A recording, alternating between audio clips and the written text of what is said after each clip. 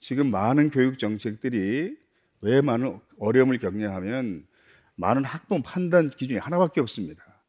이 교육 정책이 우리 아이가 명문대학 가는데 유익한가 해로운가. 그래서 힘들어지는 거예요. 근데 우리 자녀들이 대학에 가지 않고도 충분히 행복하게 살 수 있으면 우리가 아예 그 문제 신경 안 써도 돼요.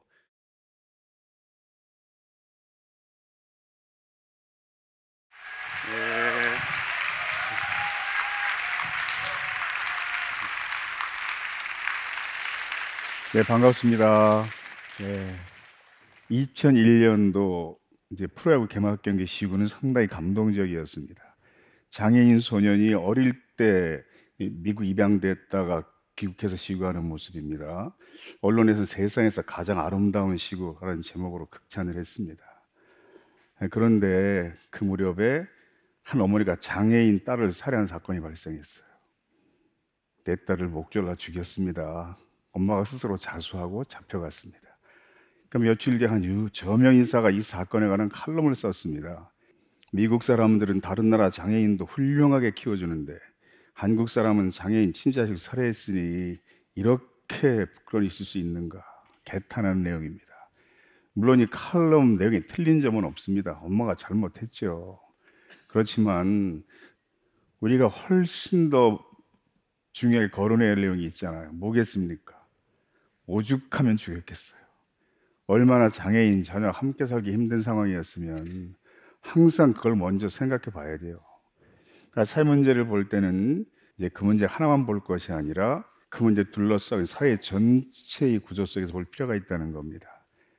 제가 대학에서 인문학 수업할 때는 이 구조적 간접이라는 개념 하나에 대해서만 학기 첫 수업 3시간 동안 수업해도 시간이 모자랍니다. 왜 그럴까요? 한국 사회에서는 초중고등학교에서 이러한 가치관이 거의 형성되지 않은 채 그냥 대학에 오거든요. 그러면 노동 문제를 구조적 관점으로 본다는 건 어떤 걸까요? 예를 들어 설명해 보겠습니다. 네, 버스가 승용차를 들이받는 교통사고 발생했습니다. 얼마나 세게 들이받았든지 거의 승용차가 휴지 조각처럼 구겨졌잖아요. 뒤에서 들이받은 버스 운전기사 근무 시간은 얼마나 됐을까요? 이렇게 일했습니다. 그러면 출퇴근 시간을 빼고 이 운전기사 하루 한 서너 시간밖에 못 잤다는 뜻입니다. 여기 운전하시는 분이 상당히 많으실 텐데 하루에 서너 시간 잤으면요. 그 다음날 한두 시간 운동도 하기 굉장히 힘듭니다. 그러면 서너 시간 정도 자면서 15시간, 18시간 운전을 했으면요. 이건 그동안 사고 안 난 게 오히려 이상한 거예요. 근데 이런 사고 발생하면 주로 언론들은 빗길 안전운전, 졸음운전 방지를 주로 많이 강조합니다. 그러나 다 아는 것처럼 진짜 중요한 해결책이 뭐겠습니까? 운전기사의 노동 시간을 줄여줘야 돼요. 운전기사가 속한 그 사회의 구조가 같이 바뀌어야 합니다. 이 사회 구조를 바꾸는 역할을 우리 근대 산업사회에서는 주로 노동운동이 많이 담당하고 있는 겁니다. 제가 냈던 중간 시험 문제입니다. 근대 산업사회 노동자 활동이 구조적으로 정당한 이유를 자신만의 독창적 방식으로 자유롭게 설명하시오. 그러니까 대학생은 이런 문제 아주 싫어합니다. 그러니까 자유롭게 쓰는 게 두렵습니다. 채점 기준도 모르겠고. 그런데 이런 활동에 많이 참여하신 분의 장점이 이런 문제를 겁내지 않는다는 거죠. 우리 이거 더 좋아하잖아, 이런 문제. 열심히들 썼습니다. 근데 한 학생이 답안지 그림 하나만 덜렁거려 놨습니다. 이게 무슨 뜻일까요? 제가 만점 준 답안입니다. 숲에 보면 큰 나무도 있고 작은 나무도 있습니다. 그런데 큰 나무는 그 나무의 마음이 아무리 착해도 작은 나무에게 어떤 존재겠습니까? 빛을 가리는 존재가 될 수밖에 없다는 거죠. 마음이 착해도. 그러니까 이러한 현상을 이제 철학 공부할 때 구조적 모순 이렇게 표현하기도 합니다. 그러니까 이제 키가, 키가 상당히 크신 분들은 저처럼 키가 작은 사람에게는 원하지 않아도 열등감을 불러일으키는 그런 존재가 되는 거죠. 이게 어느 노동조합이 교섭하는 모습입니다. 왼쪽은 노동자 간부들입니다. 오른쪽은 경영진 대표들입니다. 그럼 양쪽의 학력을 한번 비교해 보십시오. 어느 쪽 사람들의 학력이 높은 편이겠습니까? 대개 오른쪽 경영진 학력이 훨씬 높은 편입니다. 그렇다고 해서 왼쪽에 있는 노동자들의 거칠고 투박한 주장이 오른쪽에 있는 경영자들의 세련된 주장보다 정당하지 않다. 이렇게 볼 수 없다는 거죠. 사교육 걱정 없는 세상이란 단체가 기획했던 하고 싶은 일 굶지 않아 그런 행사입니다. 그냥 공부만 할 게 아니라 하고 싶은 그냥 해. 그래도 굶지 않고 살 수 있어. 그런 뜻입니다. 솔직히 이게 쉽지 않아요. 한국 사회는. 이게 쉬워요. 바람직한 사회입니다. 그러면 하고 싶은 일을 해도 행복한 나라가 실제로 있을까요? 있잖아요. 예, TV 프로그램에 출연한 노르웨이 청년이 자기 나라 세금 이야기를 하면서 부자들은 48%까지 세금을 냅니다. 이렇게 얘기했어요. 한국인 출연자가 세금을 그렇게 내고 받는 게 뭐예요? 물어보니까 이렇게 답합니다. 교육이 다 무료예요. 대학교까지. 병원비도 무료예요. 무상교육, 무상의료라는 거죠. 예, 그 청년은 다음과 같은 말로 자기 나라에 대한 설명을 마무리했습니다. 노르웨이에서는 인생에 대한 걱정을 할 필요가 없어요. 다른 나라에서는 좋은 학교 가야 된다, 돈 많이 벌어야 된다, 부모님이 부양을 해야 하고 자녀의 교육비를 내야 하고 그런 부담이 있잖아요. 노르웨이에서는 그런 것들이 다 무료이니까 돈에 대한 걱정이 필요 없고 학벌 같은 것도 없어요. 이렇게 얘기했습니다. 이제 학벌이 없다는 게 상당히 전 중요하게 느껴졌습니다. 대학까지 무상 교육하는 나라들의 대학 진학률은 우리보다 훨씬 낮습니다. 거의 절반 정도밖에 안 됩니다. 저 그래프는 청년층 중에 대졸자 비율입니다. 맨 위에 노란색이 한국입니다. 밑에 하늘색이 미국이에요. 보라색이 선진국 평균입니다. 한국처럼 고등학교 졸업하고 의뢰 다 대학을 가는 이런 나라는 지구상에 없거든요. 등록금이 다 무료인데 왜 대학 가지 않을까요? 왜 그렇겠습니까? 뻔하죠. 갈 필요 없으니까 안 가는 겁니다. 대학 가지 않고 노동자로 살아도 충분히 행복하니까. 한 언론사 기자가 네덜란드 진로 특집 기사를 쓰러 갔어요. 중학생 장래망을 물어봤습니다. 벽돌공이라고 답했습니다. 그 이유가 뭐였을까요? 벽돌공 일하는 것을 봤는데요. 음악을 하루 종일 크게 들을 수 있더라고요. 난 음악을 사랑하거든요. 난 벽돌공이 돼서 평생 음악을 들으면 행복하게 살고 싶습니다. 이렇게 답했습니다. 근데 그 꿈이 충분히 실현 가능한 이유는 벽돌공의 수입이 대기업, 정규직, 대학 교사 큰 차이가 없고 이런 다 자유롭게 할 수 있기 때문입니다. 충분히 가능한 꿈입니다. 제 친구 치과 의사가 스웨덴에서 공부를 하고 왔습니다. 근데 그 아내가 저에게 이런 말을 합니다. 스웨덴에서는 경력이 10여 년쯤 된 노동자가 의사보다 월급이 더 많아.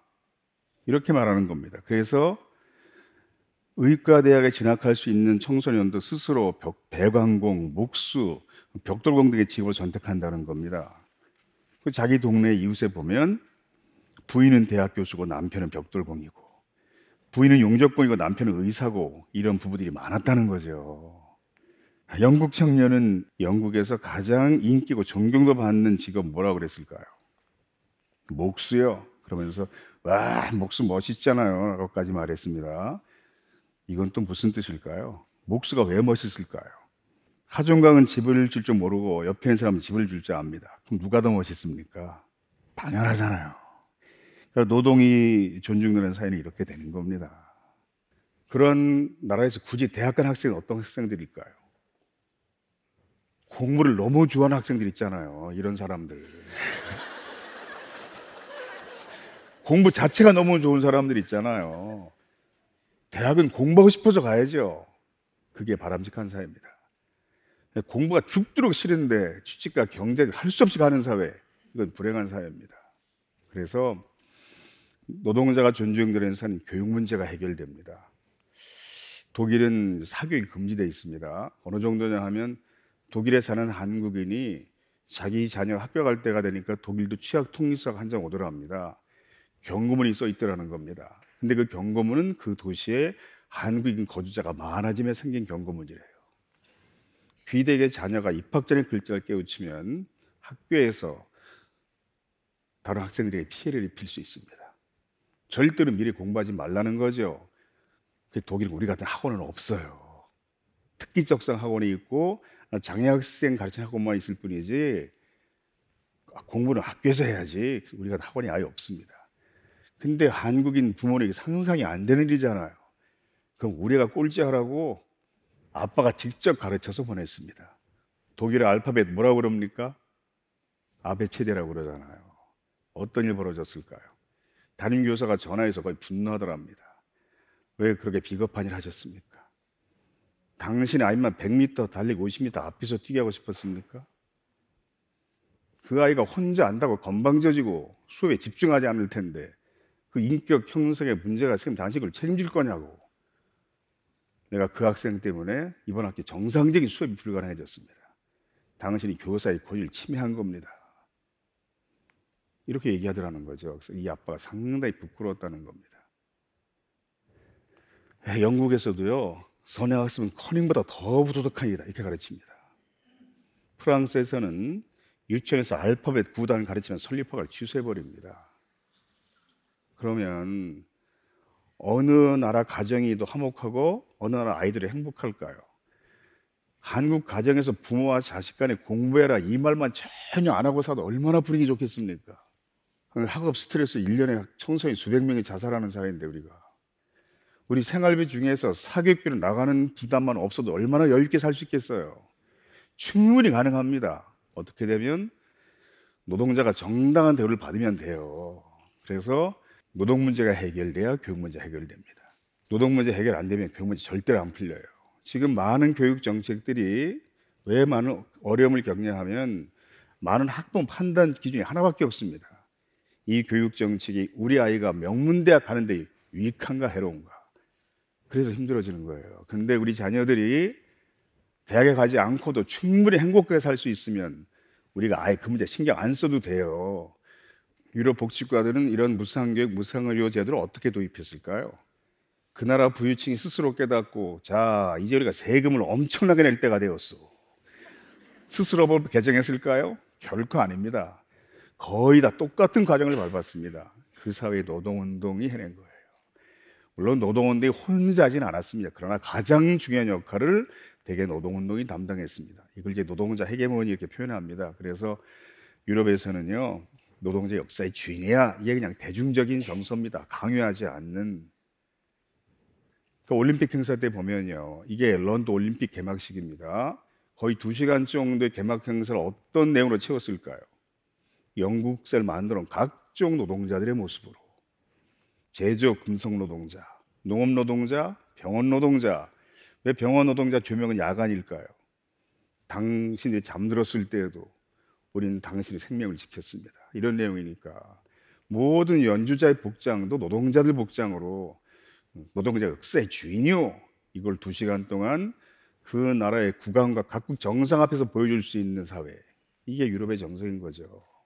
그래서 메르켈 총인 독일 총인데 독일에 상당한 보수파입니다. 그래서 독일 노동운동가 굉장히 사이가 안 좋은 사람인데도 총리가 되면서 이런 말을 했습니다. 음, 할 수만 있다면 총리도 역사의 주인, 노동자 심 유지하면서 노동 취업비를 계속 낼 수 있으면 좋겠습니다. 이게 무슨 뜻일까요? 선진국이 될수록 노조에 가입하는 직책이 계속 높아집니다.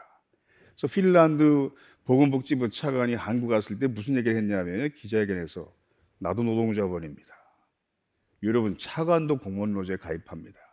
그 정체성을 국가에 고용된 노동자로 본다는 뜻입니다. 독일은 장관까지 가입할 수 있거든요.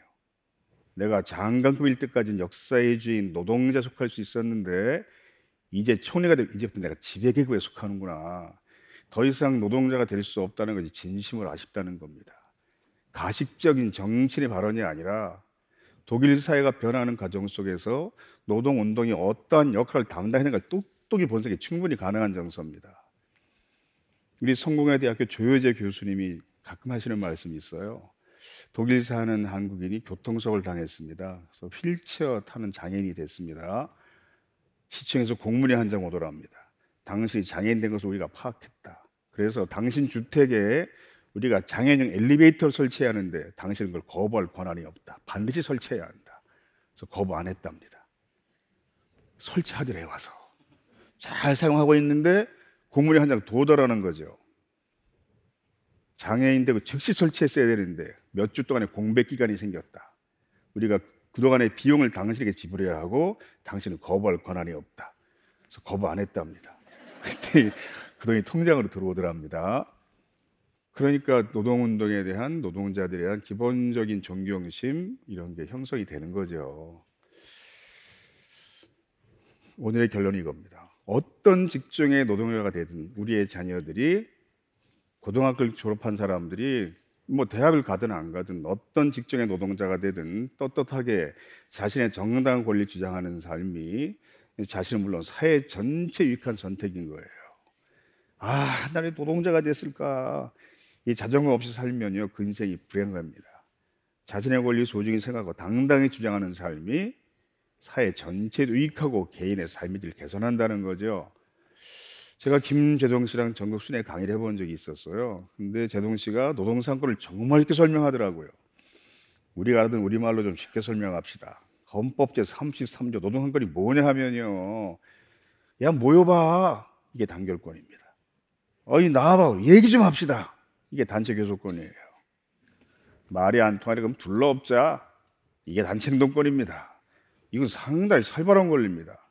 왜 전 세계 대부분 나라에서 노동자들이 자기 이익을 추구하며 타인에게 손해를 끼칠 수 있는 살벌한 권리를 노동자 가장 기본적인 권리로 보장하고 있을까요? 아, 좀 이상하잖아요. 그러니까 노동상권을 초등학생 인문학 버전으로 간단히 정리하면 노동상권은 노동자는 자기 이익을 추구하며 타인에게 손해를 끼칠 권리가 있다는 뜻입니다. 학교 급식 노동자가 파업하면 학생들은 밥을 굶거나 빵으로 대체됩니다. 전 세계 대부분 나라에서 노동자에게 가장 기본적인 권리예요. 왜 그렇겠습니까? 그 사회 전체 유익하기 때문이에요. 시간이 많으면 이걸 데이터로 증명할 수 있습니다. 왜 사회 유익한가를. 그래서 여러분들이 우리의 자녀들이 어떤 직종에서 일하든지 간에 행복한 노동자들로 당당하게 살아가시기 바랍니다. 고맙습니다. 네.